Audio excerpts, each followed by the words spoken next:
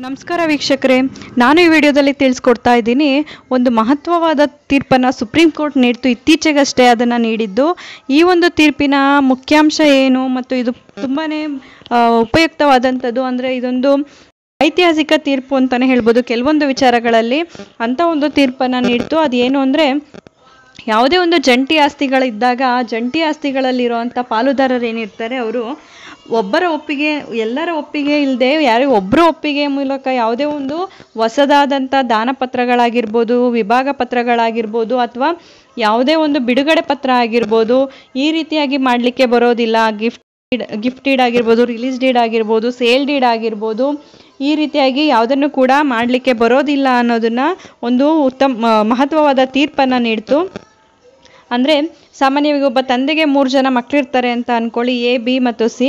ಇಲ್ಲಿ ಯಾವುದೇ ಒಂದು ಪ್ರಾಪರ್ಟಿನ ಮೂವ್ ಮಾಡಬೇಕು ಅಂದರೆ ಅದು ಯಾವ ರೀತಿಯಲ್ಲಾಗಾದರೂ ಟ್ರಾನ್ಸ್ಫರ್ ಮಾಡಬೇಕು ಅಂದಾಗ, ಅವರು ಒಟ್ಟು ಕುಟುಂಬದ ಆಸ್ತಿಯಲ್ಲಿದ್ದರೆ ಅದು ಜಂಟ್, ಆ ಆಸ್ತಿಗಳೆಲ್ಲ ಜಂಟಿಯಾಗಿದ್ದರೆ ವಿಭಾಗ ಆಗಿಲ್ಲ ಅಂದರೆ ಅಲ್ಲಿ ಮೂವರ ಸಹಿನೂ ಕೂಡ ಪ್ರತಿಯೊಂದು ಟ್ರಾನ್ಸ್ಫರ್ಗೂ ಅಂದರೆ ಯಾವುದೇ ಒಂದು ವರ್ಗಿ, ವರ್ಗಾವಣೆಗೂ ಮೂವರ ಸಹಿನೂ ಬೇಕಾಗುತ್ತೆ. ಯಾವುದೇ ಬಿ ಅನ್ನೋವಂಥವರು ಹೇಗೆ ಒಂದು ಆಸ್ತಿನ ಕೊಡ್ತೀನಿ ಅಂತ ಹೇಳಿ ಸಿನ ಒಪ್ಪಿಗೆಯನ್ನು ಪಡೆದೇ ಒಂದು ಆಸ್ತಿಯನ್ನು ಮಾರಾಟ ಮಾಡೋದು, ದಾನ ಮಾಡೋದು, ಹಕ್ಕು ಬಿಡುಗಡೆಯನ್ನು ಮಾಡಿಕೊಡೋದು, ಮಾಡಲಿಕ್ಕೆ ಬರೋದಿಲ್ಲ ಅಂತ ಹೇಳಿ ಸುಪ್ರೀಂ ಕೋರ್ಟ್ ಒಂದು ಮಹತ್ವವಾದ ತೀರ್ಪನ್ನು ನೀಡಿತು. ಸುಪ್ರೀಂ ಕೋರ್ಟ್ ನ್ಯಾಯಮೂರ್ತಿಗಳಾದಂಥ ಎಸ್ ಬೋಪಣ್ಣ ಮತ್ತು ನ್ಯಾಯಮೂರ್ತಿಗಳಾದ ಜೆ ಬಿ ಪರ್ದಿವಾಲಾ ಅವರು ಪ್ರಶಾಂತ್ ಕುಮಾರ್ ಸಾಹು ಮತ್ತು ಚಾರುಲತಾ ಸಾಹು, ಈ ಒಂದು ಕೇಸ್ನಲ್ಲಿ, ಈ ಒಂದು ಸೈಟೇಷನ್ ಏನಿದೆ, ಇದರಲ್ಲಿ ಈ ಒಂದು ವಿಚಾರಗಳನ್ನ ತಿಳಿಸ್ಕೊಟ್ಟಿದೆ. ಅದೇನು ಅನ್ನೋದನ್ನು ತಿಳಿಸ್ತಾ ಇದ್ದೀನಿ. ಇದರಿಂದ ತುಂಬ ಜನಕ್ಕೆ ಇರುವಂಥ ಸಂಶಯಗಳು ದೂರ ಆಗುತ್ತೆ. ಸಾವಿರದ ಒಂಬೈನೂರ ಅರವತ್ತೊಂಬತ್ತರಲ್ಲಿ ಶ್ರೀ ಕುಮಾರ್ ಸಾಹು ನಿಧನರಾಗ್ತಾರೆ. ಅವರ ಅವ್ರಿಗೆ ಮೂರು ಜನ ಮಕ್ಕಳಿರ್ತಾರೆ ಶ್ರೀಮತಿ ಚಾರುಲತಾ, ಶ್ರೀಮತಿ ಶಾಂತಿಲತಾ ಮತ್ತು ಪ್ರಫುಲ್ಲ ಅಂತ ಮಗ ಮೂರು ಜನ ಇರ್ತಾರೆ. ಸಾವಿರದ ಒಂಬೈನೂರ ಎಂಬತ್ತರಲ್ಲಿ ಶ್ರೀಮತಿ ಚಾರುಲತಾ ಅನ್ನೋರು ಟ್ರಯಲ್ ಕೋರ್ಟಲ್ಲಿ ಒಂದು ಪಾರ್ಟಿಷನ್ ಡೀಡ್ಗಾಗಿ ಕೇಸನ್ನು ಹಾಕೋತಾರೆ. ನಮ್ಮ ತಂದೆಯ ಪೂರ್ವ ಪೂರ್ವಜರ ಮತ್ತು ಸ್ವಯಂ ಸ್ವಾಧೀನದಲ್ಲಿರುವ ಆಸ್ತಿಗಳಲ್ಲಿ ಮೂರನೇ ಒಂದು ಪಾಲನ್ನು ನೀಡಬೇಕು ಅಂತೇಳಿ ಒಂದು ಕೇಸನ್ನು ಹಾಕೋತಾರೆ. ಟ್ರಯಲ್ ಕೋರ್ಟ್ ಏನು ಟ್ರಯಲ್ ಕೋರ್ಟ್ ದಿನಾಂಕ ಮೂವತ್ತು ಹನ್ನೆರಡು ಸಾವಿರದ ಒಂಬೈನೂರ ಎಂಬತ್ತಾರರಂದು ಒಂದು ತೀರ್ಪನ್ನು ನೀಡುತ್ತೆ. ಪೂರ್ವಭಾವಿ ತೀರ್ಪಂತ ಏನು ನೀಡುತ್ತೆ? ಅದರಲ್ಲಿ ಶ್ರೀಮತಿ ಚಾರುಲತಾ ಅವರು ಮತ್ತು ಶ್ರೀಮತಿ ಶಾಂತಿಲತಾ ಅವರು ಪೂರ್ವಜರ ಆಸ್ತಿಯಲ್ಲಿ ಆರನೇ ಒಂದು ಪಾಲನ್ನು ಪಡ್ಕೋತಾರೆ ಮತ್ತು ದಿವಂಗತ ಸಾಹು ಅವರ ಸ್ವಯಂ ಸ್ವಾಧೀನ ಸ್ವಾಧೀನಪಡಿಸ್ಕೊಂಡಂಥ ಆಸ್ತಿ, ಅಂದರೆ ಸ್ವಯಾರ್ಜಿತ ಆಸ್ತಿ ಏನಿರುತ್ತೆ ಅದರಲ್ಲಿ ಮೂರನೇ ಒಂದು ಅಷ್ಟು ಪಾಲಿಗೆ ಅರ್ಹರಾಗಿದ್ದಾರೆ ಅಂತ ಹೇಳಿ ಒಂದು ತೀರ್ಪನ್ನು ನೀಡುತ್ತೆ. ಅದೇ ರೀತಿ ಕೂಡ ಮಗ ಆದ ಪ್ರಫುಲ್ಲ ಅವರಿಗೆ ಸಂಬಂಧಪಟ್ಟಂತೆ ಅವರು ಪೂರ್ವಜರ ಆಸ್ತಿಯಲ್ಲಿ ಆರ ನಾಲ್ಕ, ಆರನೇ ನಾಲ್ಕು ಭಾಗ ಮತ್ತು ಶ್ರೀ ಸಾಹು ಅವರ ಒಂದು ಸ್ವಯಂ ಆಸ್ತಿ ಏನಿರುತ್ತೆ ಅಂದರೆ ಸ್ವಯಾರ್ಜಿತ ಆಸ್ತಿ ಏನಿರುತ್ತೆ, ಅದರಲ್ಲಿ ಮೂರನೇ ಒಂದು ಪಾಲನ್ನು ಪಡೀತಾರೆ ಅಂತೇಳಿ ಒಂದು ತೀರ್ಪನ್ನು ನೀಡುತ್ತೆ.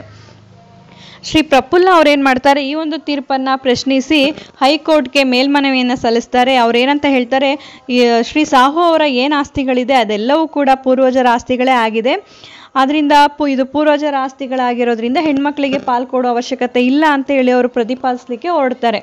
ಇದು ಎರಡು ಸಾವಿರದ ಐದರಲ್ಲಿ ಪೂರ್ವಜರ ಆಸ್ತಿಗೆ ಹೆಣ್ಣು ಮಕ್ಕಳಿಗೆ ಪಾಲಿದೆ ಅಂತ ಒಂದು ಕಾನೂನಾಗಿದ್ದು, ಅದರ ಬಗ್ಗೆ ಗೊಂದಲ ಇರೋರು ಅದನ್ನು ತಿಳ್ಕೊಳ್ಳಿ.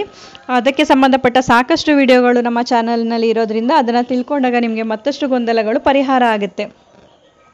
ಈ ಒಂದು ಮೇಲ್ಮನವಿ ಬಾಕಿ ಇರೋ ಅಂಥ ಸಂದರ್ಭದಲ್ಲೇ ಶ್ರೀ ಪ್ರಫುಲ್ಲ ಅವ್ರು ಏನು ಮಾಡ್ತಾರೆ, ತಮ್ಮ ಸಹೋದರಿಯಾದಂಥ ಶಾಂತಿಲತಾ ಅವ್ರ ಜೊತೆಗೆ ಒಂದು ಸೆಟ್ಲ್ಮೆಂಟ್ ಡೀಡನ್ನು ಮಾಡ್ಕೋತಾರೆ. ನೈನ್ಟೀನ್ ನೈಂಟಿ ಒನ್ನಲ್ಲಿ ಒಂದು ಸೆಟ್ಲ್ಮೆಂಟ್ ಡೀಡನ್ನು ಮಾಡ್ಕೋತಾರೆ. ಅದ್ರ ಮುಖಾಂತರ ತನಗೆ ಬರಬೇಕಾದಂಥ ಪಾಲನ್ನೆಲ್ಲ ನಾನು ಶ್ರೀ ಪ್ರಫುಲ್ಲ ಅವ್ರಿಗೆ ಬಿಟ್ಕೊಡ್ತಾ ಇದ್ದೀನಿ. ಅದಕ್ಕೆ ಬದಲಾಗಿ ಐವತ್ತು ಸಾವಿರ ರೂಪಾಯಿಗಳನ್ನ ಪಡ್ಕೋತಾ ಇದ್ದೀನಿ. ಆದ್ದರಿಂದ ನನಗೆ ಜಂಟಿ ಆಸ್ತಿಲಿ ಯಾವುದೇ ಒಂದು ಪಾಲು ಬೇಕಾಗಿಲ್ಲ. ನನಗೆ ಬರುವಂಥ ಪಾಲು ನನ್ನ ಸಹೋದರನಿಗೆ ಸೇರುತ್ತೆ ಅಂತೇಳಿ ಒಂದು ಸೆಟ್ಲ್ಮೆಂಟ್ ಡೀಡ್ಗೆ ಸಹಿ ಮಾಡ್ತಾರೆ. ಆದರೆ ಈ ಒಂದು ಸೆಟಲ್ಮೆಂಟ್ ಡೀಡ್ಗೆ ಚಾರುಲತಾ ಅವರು ಸಹಿ ಮಾಡಿರಲ್ಲ, ಕೇವಲ ಶಾಂತಿಲತಾ ಅವರು ಮಾತ್ರ ಸಹಿ ಮಾಡಿರ್ತಾರೆ. ಆದರೆ ಈ ವಿಚಾರ ತಿಳಿದಂಥ ಶ್ರೀಮತಿ ಚಾರುಲತಾ ಅವರು ತಮ್ಮ ಸಹೋದರಿ ಮತ್ತು ಸಹೋದರನ ನಡುವೆ ನಡೆದಂಥ ಈ ಒಂದು ಸೆಟಲ್ಮೆಂಟ್ ಡೀಡನ್ನು ಪ್ರಶ್ನೆ ಮಾಡಿ ಸಾವಿರದ ಒಂಬೈನೂರ ತೊಂಬತ್ತೊಂದರಲ್ಲಿ ಒಂದು, ಇದರ ಸಿಂಧುತ್ವವನ್ನು ಪ್ರಶ್ನಿಸಿ ಒಂದು ಕೇಸನ್ನು ಫೈಲ್ ಮಾಡ್ತಾರೆ. ಈ ಸಮಯದಲ್ಲಿ ಏನು ಮಾಡ್ತಾರೆ, ಶ್ರೀ ಪ್ರಫುಲ್ಲ ಅವರು ಹೈಕೋರ್ಟಲ್ಲಿ ಬಾಕಿ ಇರುವಂಥ ಒಂದು ಮೇಲ್ಮನವಿ ಏನಿದೆ ಪಾರ್ಟಿಷನ್ ಡೀಡ್ಗೆ ಹಾಕಿರುವಂಥದ್ದು ಅದನ್ನು ರಾಜಿ ಮಾಡ್ಕೋತೀನಿ ಮತ್ತು ಸೆಟಲ್ಮೆಂಟ್ ಡೀಡನ್ನು ಮಾನ್ಯ ಆಗುವಂತೆ ಮಾಡಬೇಕು ಅಂತೇಳಿ ಶ್ರೀ ಪ್ರಫುಲ್ಲ ಅವರು ಶ್ರೀಮತಿ ಶಾಂತಿಲತಾ ಅವರ ಆಸ್ತಿಯ ಪಾಲಿಗೆ ಅರ್ಹರಾಗಿರ್ತಾರೆ ಎಂದು ಹೇಳಬೇಕು ಅಂತ ಹೇಳಿ ಹೈಕೋರ್ಟ್ನ ಏಕವ್ಯಕ್ತಿ ನ್ಯಾಯಾಧೀಶರು ಮೊದಲ ಮೇಲ್ಮನವಿಯನ್ನು ವಿಲೇವಾರಿ ಮಾಡಿರ್ತಾರೆ. ಈ ಸಂದರ್ಭದಲ್ಲಿ ಈ ಒಂದು ಮೇಲ್ಮನವಿಯನ್ನು ನಿರ್ಧಾರ ಮಾಡೋದಕ್ಕಿಂತ ಮೊದಲೇ ಹೈಕೋರ್ಟ್ನ ವಿಭಾಗೀಯ ಪೀಠದ ಮುಂದೆ ಒಂದು ಮೇಲ್ಮನವಿಯನ್ನು ಸಲ್ಲಿಸಿರ್ತಾರೆ. ಈ ಮೇಲ್ಮನವಿಯನ್ನು ಹಾಗೆ ಇಟ್ಟಂಥ ಹೈಕೋರ್ಟ್ ಶಾಂತಿಲತಾ ಮತ್ತು ಪ್ರಫುಲ್ಲ ಅವರ ನಡುವೆ ನಡೆದಿರುವಂಥ ಒಂದು ಸೆಟಲ್ಮೆಂಟ್ ಡೀಡ್ ಏನಿದೆ, ಅದನ್ನು ಅಸಿಂಧುಗೊಳಿಸುತ್ತೆ. ಶ್ರೀ ಪ್ರಫುಲ್ಲ ಅವರು ಸೊ, ಐದು ಐದು ಎರಡು ಸಾವಿರದ ಹನ್ನೊಂದರ ಆದೇಶದ ವಿರುದ್ಧ ಸುಪ್ರೀಂ ಕೋರ್ಟ್ಗೆ ಮೇಲ್ಮನವಿಯನ್ನು ಸಲ್ಲಿಸ್ತಾರೆ ಎರಡ್ ಸಾವಿರದ ಐದರಲ್ಲಿ ಹಿಂದೂ ಉತ್ತರಾಧಿ ಕಾಯ್ದೆಯ ತಿದ್ದುಪಡಿ ಏನಾಗುತ್ತೆ ಅಂದರೆ ಸಾವಿರದ ಒಂಬೈನೂರ ಐವತ್ತಾರರ ಆ್ಯಕ್ಟ್ಗೆ ಒಂದು ತಿದ್ದುಪಡಿಯನ್ನು ಮಾಡ್ತಾರೆ. ಇದರ ಪ್ರಕಾರ ಹೆಣ್ಣು ಮಕ್ಕಳು ಕೂಡ ಪುತ್ರರಂತೆ ಸಮಾನ ಹಕ್ಕುದಾರರು ಅಂದರೆ ಕೋಪಾರ್ಸನರ್ಗಳಾಗಿರ್ತಾರೆ ಶ್ರೀಮತಿ ಶಾಂತಿಲತರ ಶಾಂತಿಲತಾ ಅವರ ಹಕ್ಕುಗಳು ನಶಿಸಲ್ಪಟ್ಟಿವೆ. ಸೆಟಲ್ಮೆಂಟ್ ಡೀಡ್ ದೃಷ್ಟಿಯಿಂದ ಅವರ ಒಂದು ಹಕ್ಕನ್ನು ಬಿಟ್ಕೊಡೋದಕ್ಕೆ ಅವರು ಸಂಪೂರ್ಣವಾಗಿ ಹಕ್ಕುದಾರರಾಗಿದ್ದಾರೆ ಅಂತೇಳಿ ವಾದವನ್ನು ಮಾಡ್ತಾರೆ. ಆದರೆ ಇಲ್ಲಿ ಶ್ರೀಮತಿ ಶಾಂತಿಲತಾ ಅವರ ಹಕ್ಕುಗಳು ನಶಿಸಲ್ಪಟ್ಟಿರುವುದು, ನಶಿಸಲ್ಪಟ್ಟಿವೆ ಮತ್ತು ಸೆಟಲ್ಮೆಂಟ್ ಡೀಡ್ನ ದೃಷ್ಟಿಯಿಂದ ಶ್ರೀ ಪ್ರಫುಲ್ಲ ಅವರಿಗೆ ವರ್ಗಾಯಿಸಲಾಗಿದೆ ಅಂತ ಹೇಳಿ ಒಂದು ವಾದವನ್ನು ಮಾಡ್ತಾರೆ. ಈ ಒಂದು ವಾದವನ್ನು ಗಮನಿಸಿದಂಥ ಸುಪ್ರೀಂ ಕೋರ್ಟ್ ಏನಂತ ತೀರ್ಪನ್ನು ನೀಡುತ್ತೆ? ವಿಭಜನಾ ಮೊಕದ್ದಮೆಯಲ್ಲಿ ಸೆಟಲ್ಮೆಂಟ್ ಡೀಡ್ ಲಿಖಿತ ಒಪ್ಪಿಗೆ ಮತ್ತು ಎಲ್ಲ ಪಕ್ಷಗಳ ಸಹಿಯನ್ನು ಒಳಗೊಂಡಿರಲೇಬೇಕು. ಸಿವಿಲ್ ಪ್ರೊಸೀಜರ್ ಕೋಡ್ ಸಾವಿರದ ಒಂಬೈನೂರ ಎಂಟರ ಆರ್ಡರ್ ಆರ್ಡರ್ ಇಪ್ಪತ್ತ್ಮೂರು ನಿಯಮ ಮೂರರ ಪ್ರಕಾರ ಯಾವುದೇ ಕಾನೂನುಬದ್ಧ ಒಪ್ಪಂದ ಅಥವಾ ರಾಜಿ ಮೂಲಕ ಸಂಪೂರ್ಣವಾಗಿ ಅಥವಾ ಭಾಗಶಃ ಮೊಕದ್ದಮೆಯನ್ನು ಸರಿಹೊಂದಿಸಿದಾಗ ರಾಜಿಯು ಲಿಖಿತವಾಗಿರಬೇಕು, ಪಕ್ಷಗಳು ಸಹಿ ಮಾಡಿರಬೇಕು ಎಂದು ಈ ಒಂದು ಬೆಂಚ್ ಗಮನವನ್ನು ನೀಡುತ್ತೆ. ಆದ್ದರಿಂದ ಈ ಒಂದು ಸೆಟಲ್ಮೆಂಟ್ ಡೀಡ್ ಏನಿದೆ, ಶ್ರೀ ಪ್ರಫುಲ್ಲ ಮತ್ತು ಶಾಂತಿಲತಾ ನಡುವೆ ಮೂವರು ಒಡಹುಟ್ಟಿದವರು ಇರೋದ್ರಿಂದ ಇದು ಜಂಟಿ ಆಸ್ತಿಗೆ ಸಂಬಂಧಪಟ್ಟಿದೆ. ಇಂದ ಇದನ್ನ ನಾವು ಸಿಂಧು ಮಾಡಲಿಕ್ಕೆ ಬರೋದಿಲ್ಲ. ಶ್ರೀಮತಿ ಚಾರುಲತಾ ಅವರು ಕೂಡ ಈ ಒಂದು ಆಸ್ತಿಯಲ್ಲಿ ಮೂರನೇ ಸಹೋದರಿ ಮತ್ತು ಅವರ ಸಹಿಯು ಬಹಳ ಮುಖ್ಯ ಆಗಿದೆ.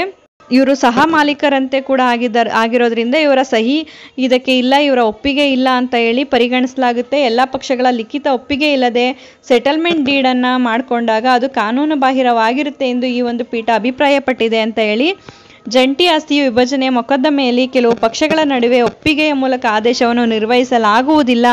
ಅಂದರೆ ಯಾವುದೇ ಒಬ್ಬ ವ್ಯಕ್ತಿಯ ಒಂದು ಒಪ್ಪಿಗೆಯನ್ನು, ಆದೇಶವನ್ನು ಒಪ್ಕೊಳ್ಳಿಕ್ಕೆ ಬರೋದಿಲ್ಲ ಅಂತ ಹೇಳಿ ಟ್ರಯಲ್ ಕೋರ್ಟ್ ಮತ್ತು ಹೈಕೋರ್ಟ್ ವಿಭಾಗೀಯ ಪೀಠವು ಮಾಡಿದ ಷೇರುಗಳ ಹಂಚಿಕೆಯನ್ನೇ ಪೀಠವು ಎತ್ತಿ ಹಿಡಿದಿದೆ ಮತ್ತು ಕಕ್ಷಿದಾರರ ಷೇರುಗಳನ್ನು ಮರು ನಿರ್ಧರಿಸಿತ್ತು. ಸೆಟಲ್ಮೆಂಟ್ ಡೀಡನ್ನು ಪೀಠವು ಅಮಾನ್ಯಗೊಳಿಸಿದೆ.